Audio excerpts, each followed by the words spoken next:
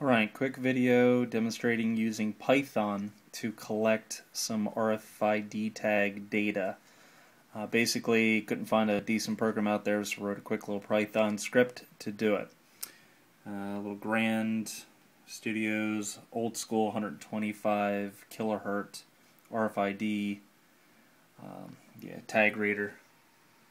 And quick little program, which I'll throw up on the site waiting for tags.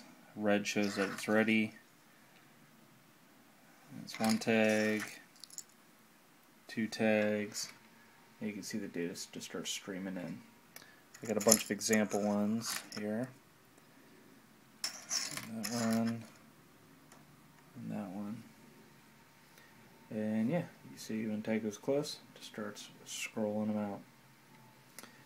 And that's it. Pretty straightforward, pretty simple. I'll put the code up on Digital Intercept.